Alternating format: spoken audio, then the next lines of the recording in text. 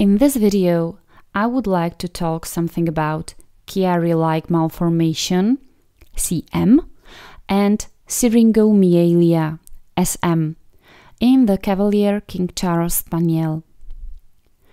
Chiari-like malformation, more like CM, is believed to play a major role in the cause of Syringomyelia, SM, in Cavalier King Charles Spaniels. While some forms of CM are known to have other causes, this video focuses primarily upon its relationship with CM. CM is a complex skull and craniocervical junction malformation associated with a short skull that is common in some brachycephalic toy breed dogs and especially the Cavalier. The brain is overcrowded in the skull, and there is also overcrowding of the spinal cord in the upper neck vertebrae. In the Cavalier, this situation is compounded due to the Cavalier having a comparatively large brain. The Cavalier appears to have a brain more appropriate for a bigger dog, about the size as that of a Labrador retriever.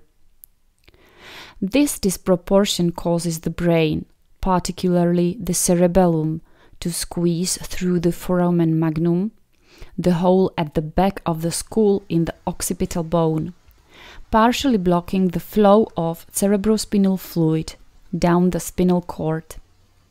This both causes pain and the creation of fluid, which collects in pockets in the spinal cord, which is what SM is. CM can cause irreversible damage to the spinal cord, resulting in additional pain and other neurological disorders. SM is an extremely serious condition in which one or more of these syringes or syringes develop within the spinal cord near the brain. It is also known as neck scratcher's disease because one of its common signs is scratching in the air near the neck. Syringomyelia is Latin for cavity within the spinal cord. SM is rare in most breeds but has become very widespread in Cavalier King Charles Spaniels, the Brussels Griffon, and Chihuahuas. The number of diagnosed cases in Cavaliers has increased dramatically since 2000. Researchers estimated that more than 95% of Cavaliers have CM and over 50% may have SM.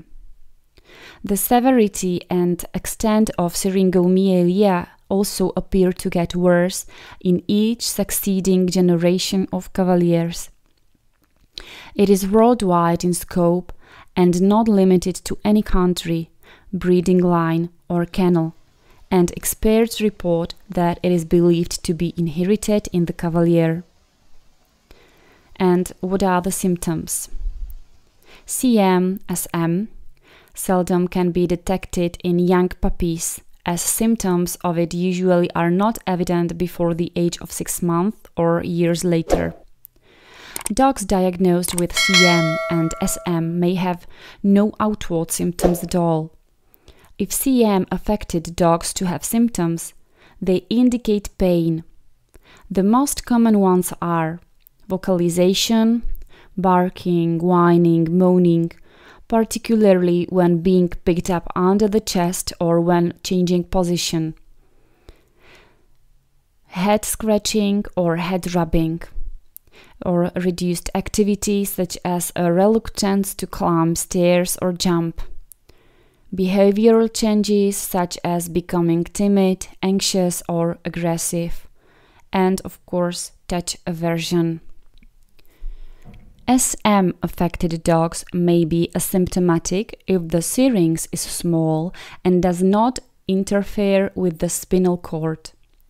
Larger syrinxes those having a diameter of 4 mm or more, can damage the spinal cord and cause symptoms such as phantom scratching, scoliosis, and weakness in the limbs. Pain is the most important clinical sign of CM. Symptoms may vary widely among different dogs, but the earliest sign often is that the dog feels a hypersensitivity in its neck area, causing in some an uncontrollable urge to scratch at its neck and shoulders. Then usually follows severe pain around its head, neck, and shoulders, causing it yelp or scream. As the disease progresses, it destroys portions of the cavalier's spinal cord and is so painful that the affected dog may contort its neck and even sleep and eat only with its head held high. The dog's legs may become progressively weaker so that walking becomes increasingly difficult for them.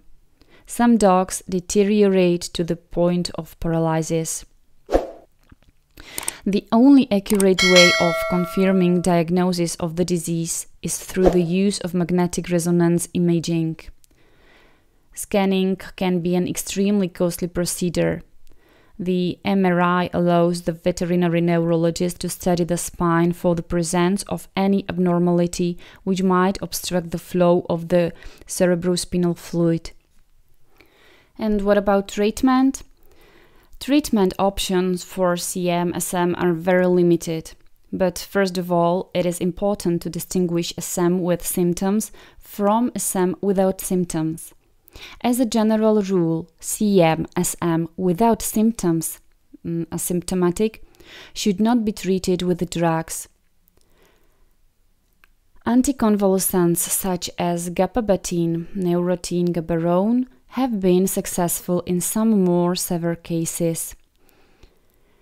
Then the other treatments is recommended by some veterinary uh, neurologists as dietary supplements. Drugs which reduce the production of cerebrospinal fluid, including proton pump inhibitors such as omeprazole and the diuretic furosemide and spironolactone, may be useful, but clinical data on their use and effectiveness is lacking. Carbonic anhydrase inhibitors such as acetazolamide uh, also serve to decrease the flow of cerebrospinal fluid, but their adverse side effects of abdominal pain, lethargy, and weakness limit long term use. Before the disease progressed to its severe form, the use of corticosteroids such as prednisolone or non-steroidal anti-inflammatory drugs uh, may relieve the symptoms but not the deterioration. Um, corticosteroids have serious side effects such as weight, gait, and skin changes, and harmful suppression of the immune system. Long term use of these drugs is not advised. As a general rule, they should be reserved for a last resort, although some neurologists will start initial treatment of symptomatic dogs with a combination of an anticonvulsant such as gabapentin and non inflammatory dose of prednisolone.